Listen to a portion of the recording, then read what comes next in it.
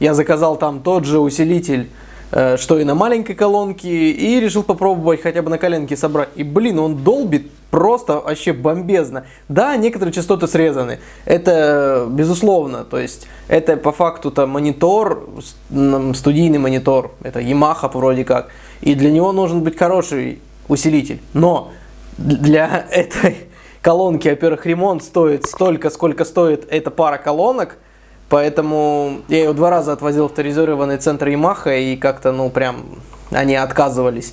Ну и сам усилитель будет стоить на эту мощность, якобы который и раскачает, ну в районе 7-8 тысяч. 200 рублей.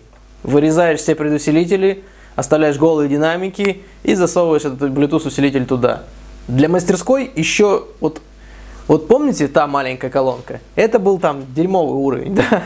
Это, ну, дерьмовый уровень гораздо выше, но она будет разрывать мастерскую по факту и раскачивает, я думаю, что ну, ухом не замерить, что в принципе в комнате слишком громко и находиться уже даже не особо приятно, если выкрутить на максимум. Регулятор я решил убрать вовнутрь и выкрутить его на максимум, потом просто уже регулировать на телефоне, когда подключаешь Bluetooth, потому что ну, лишние отверстия сверлить также самой колонки не хотелось.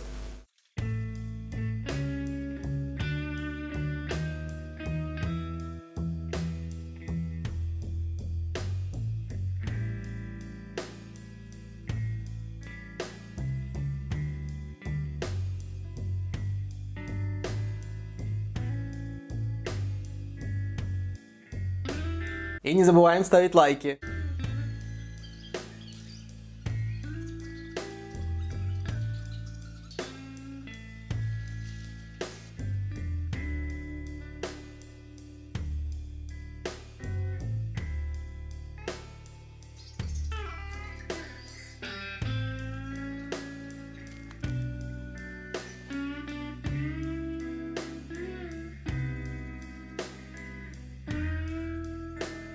И, кстати, все компоненты, которые я использовал, ну, компоненты, компонент один, э, а также дополнительные еще прикольные фишки э, с AliExpress по довольно низкой цене вы можете найти в моем описании и там все купить.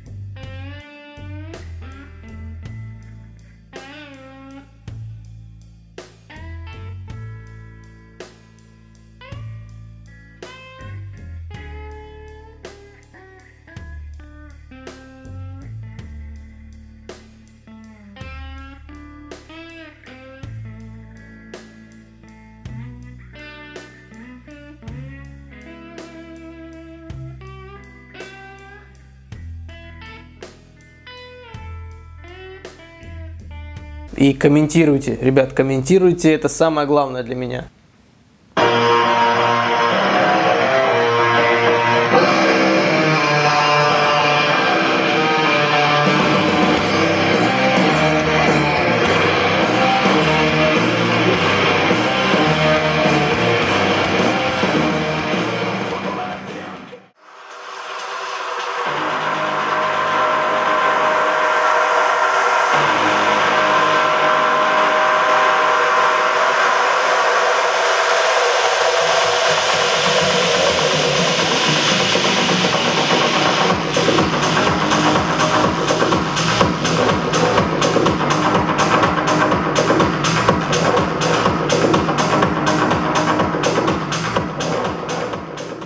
Напишите свой отзыв, да, напишите, что бы вы сделали иначе, может быть, совсем какое-нибудь говно можете написать.